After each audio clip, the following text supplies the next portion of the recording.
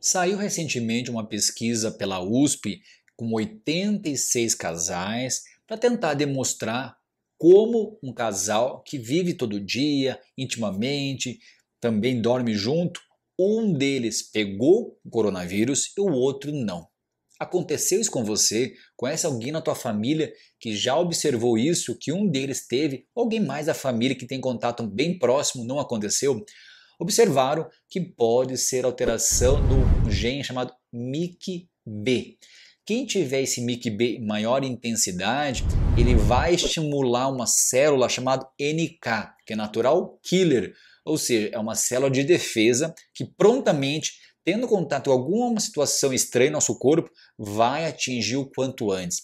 Então essa pessoa que é resistente não pegou, foram visto que provavelmente essa pessoa tem esse MIC-B em excesso e consequentemente não vai ter os sintomas como o casal ou familiar ao lado que não tem esse MIC-B pegou essa alteração. Essa situação é bem importante que pode ser uma linha de raciocínio para futuros tratamentos através de uma terapia genética. Olha que interessante, você fazendo a pesquisa, tentando identificar por que um, dos, um do casal teve e o outro não teve, você consegue identificar por que um é resistente e o outro não, e disso propor em larga escala um tratamento para várias pessoas para de prevenção.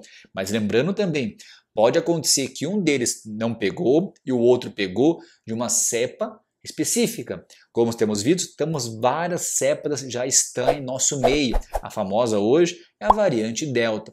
Então tem que ser pesquisado para essas outras cepas também. Pode ser naquele momento aquele familiar pegou um vírus naquela cepa e aquele não, porque tem proteção para aquela cepa. Talvez uma segunda oportunidade não seja assim. Por isso é importante, se você já teve coronavírus ou familiar teve e você não teve, continuar a sua proteção de usar álcool em gel, usar máscara, isolamento social, todos os cuidados que estamos tendo já há mais de um ano, dois anos praticamente. Por isso é importante nós sempre estarmos em cuidados, porque nós não sabemos a longo prazo como vai ser. Talvez dure um pouco mais essa situação de isolamento, de cuidados.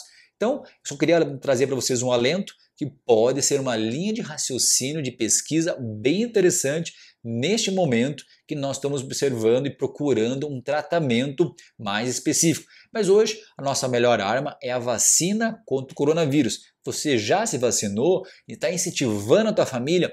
Eu já, já me vacinei pelas duas doses. Provavelmente daqui a pouco vai ser liberado para profissionais da saúde, como é o meu caso, a terceira dose. Vou me vacinar pela terceira vez incentivei, incentivo a minha família a fazer e todos eles fizeram também, como eu faço aqui para vocês, o incentivo. Se vacine, é a nossa melhor arma hoje.